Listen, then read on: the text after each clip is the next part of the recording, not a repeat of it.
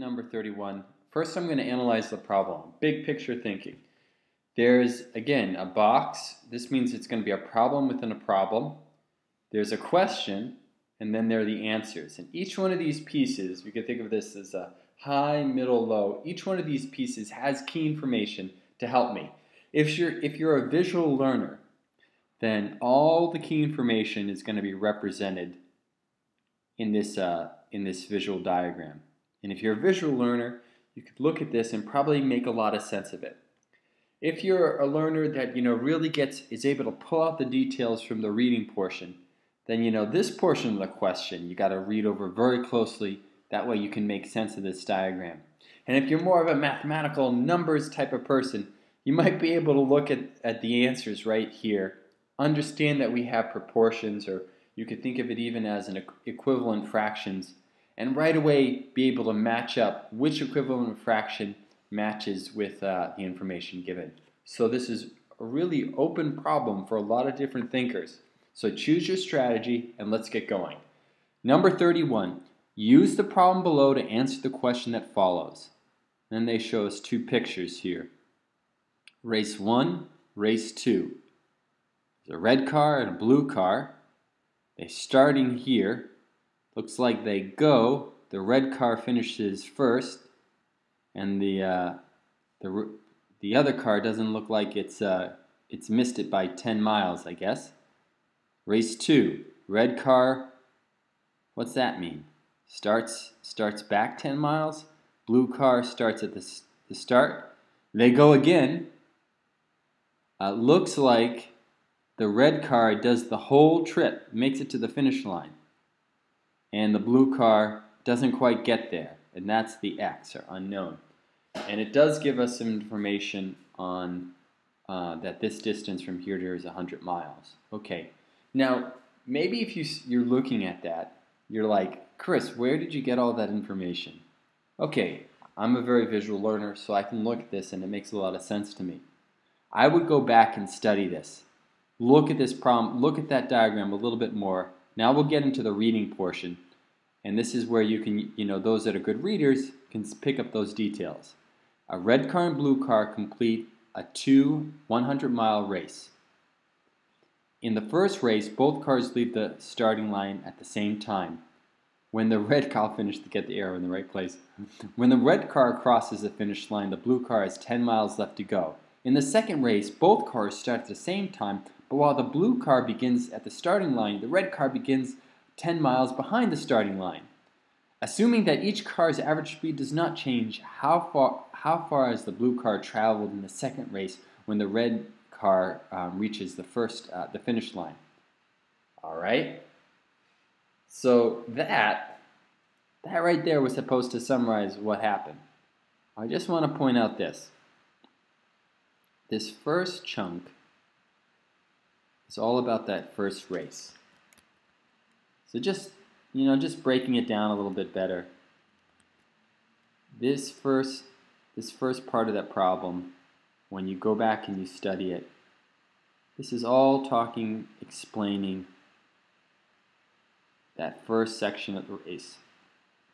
This second part is all talking about the second race.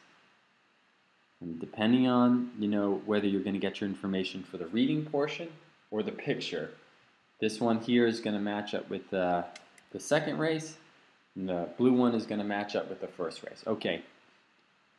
Which of the following proportions can be used to solve the problem? So let's talk about what a proportion is real quick. If I was making, let's say, uh, chickpeas, I'm making, I'm making some hummus with an H. And it requires uh, two cans of chickpeas. So I'll say chickpeas here for every one lemon. Maybe three lemons. I, I like my hummus very lemony. You're like, oh my god. Well, I'm going to keep this proportion when I get more cans of chickpeas.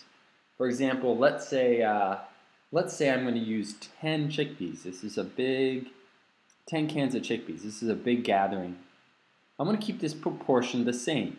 So essentially what I've set up a proportion, I've set up two equivalent fractions. And the way I find out that x is I have to uh, I have to find out what what would make what denominator here is going to make you know this fraction equivalent to this one right here, follow the same proportion. Well, I find the bridge. How do I get from 2 to 10? I'm going to multiply 2 by 5, which means I got to multiply 3 by 5. So x would have to equal 5. I'm sorry, x would have to equal um, 15. And this way I would create two equivalent equations, or two, propor two proportions that match up. So right now, by putting this equal sign, I've made a proportion. I'm saying this is equal to this. Well, we want to do the same thing here. We want to look and find out which proportion gets us to the correct answer. So we have to break down the information. So I'm going to start when I, when I set this up. I'm going to first look at this first race.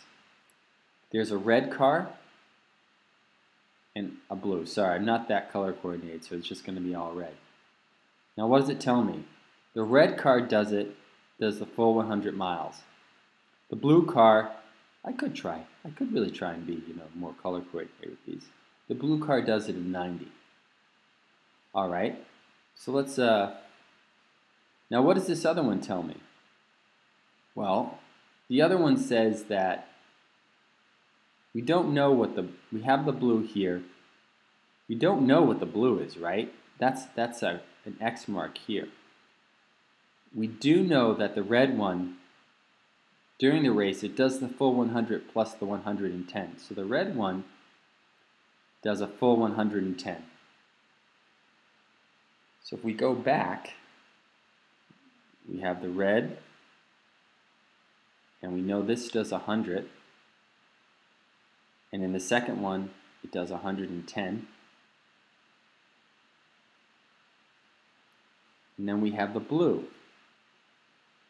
The blue, the first race, does 90, and in the second race, we don't know we want to keep the, make them proportional, so we make it equal to each other. Now, if we actually wanted to solve for x, we would do the same thing as before. Find out the bridge. How do I get from 100 to 110? How do I do this? Uh, there's a lot of ways you can think about this, but many of you are saying, well, you could do that. And then you'd have to multiply the bottom by 1.1. Uh, yeah, yeah. But you know what? You don't need to know that. It doesn't ask you to solve for x. It just asks you to find the proportion that would help you solve for x. And that's how we get to here. So let's say, um, let's say, you know, um, you're a visual learner. You could have looked at this diagram here, and you could have pulled out all the key information that you need to make these proportions. Let's say you're much more of a, learner that's able to pull out the details and visualize what you read. Then all the details here, you could help to write this one down. So the component that you have to really work on is first finding out what type of learner you are, which I think you already do know. But then also how, how to make sense of the proportion itself, making two equivalent fractions, and how to do those type of calculations. Because if you get this skill, just like the, the chickpeas and the hummus, make, keeping a proportion when you have a recipe or, or you know, keeping these two equivalent fractions equal, if you get that math, then you can just pick. Do you want to do it the word problem way and write the proportion? Or do you want to look at the diagram and write the proportion? You decide. Thanks team for watching. This is Chris Abraham, GOH Math. Check out one of the Harvard Square MTEL Math workshops. Sign up for some one-to-one -one tutoring if you need some extra help. Thanks so much. Have a great day.